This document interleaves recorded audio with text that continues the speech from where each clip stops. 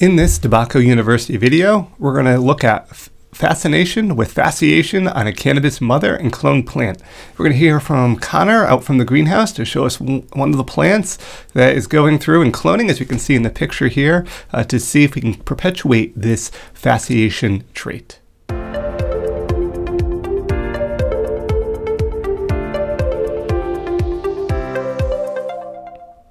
Right, well, first off, I should define this. And fasciation, if you're not aware, is really defined as development of elongated, flattened end stems on a plant. We can clearly see that here compared to the normal. This can be also expressed in the flowers from the apical part of the, of the plant. We can see this one in comparison to the normal one. Dandelions can also have this, and we can see the normal dandelions in the background with this fasciation one here in the foreground. Now, is this good or bad, particularly related to cannabis? Well, typically it's not considered to be advantageous other than a unique ornamental characteristics. However, in cannabis, this uh, change in flower morphology can lead to some interest. And we can see all these plants exhibit uh, fasciation. Now, the question is, you know, is this good or is this bad? Definitely uh, is looking very unique. So, what are some potential causes uh, for this? To get it kind of like the root cause is what this might occur. Well, this is typically the result of a genetic mutation of the meristematic region of the plant. Remember, meristematic region is the area of high cell division. This is evident by the elongated and flattened cells, and this is kind of what the top of the plant looks like right here.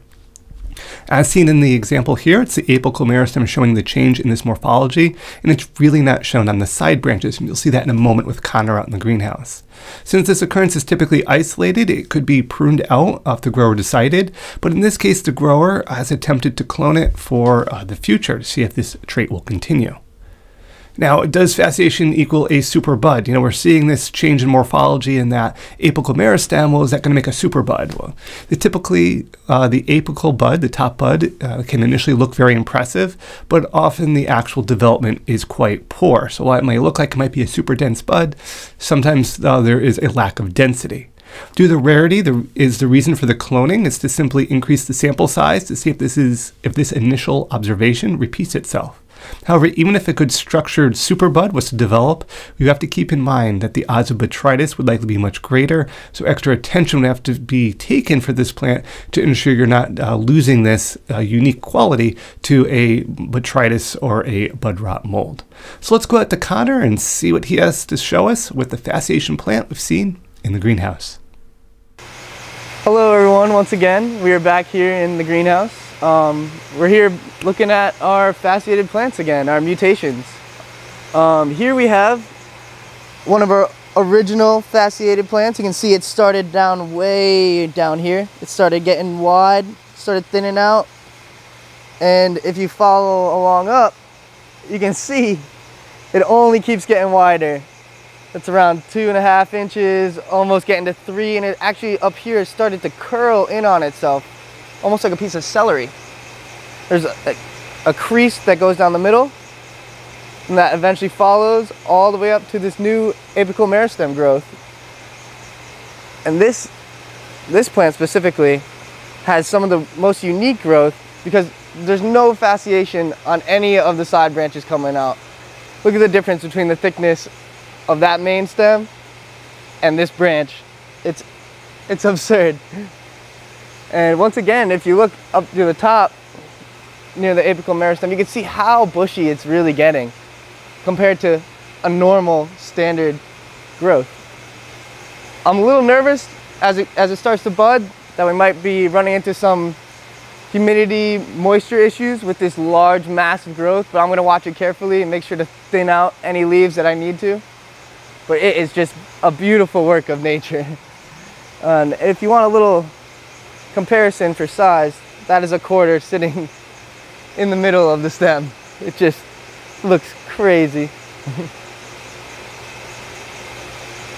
yeah, I look forward to what, what this plant comes to. Um, I'm hoping for a really unique, kind of wide flower, nice big bud.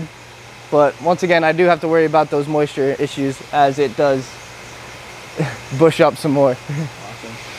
Welcome back guys. We're here looking at um, our fasciated plants again. These mutations along the stem were so unique that I decided that I wanted to try to continue on the legacy. And, well, I did. um, here we have two clones. These are a BaOx strain, a high CBD variety, and they were taken from this fasciated branch right here. And if you look at these clones, they have continued to fasciate. These, they have these long, wide stems that are really strong and dense. You can see how thick it really is when you get those angles. Both clones are exhibiting this feature.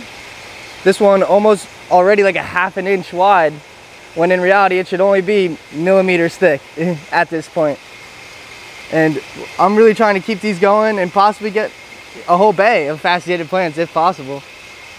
I love this mutation and I can't wait to see what it does once it fully flowers.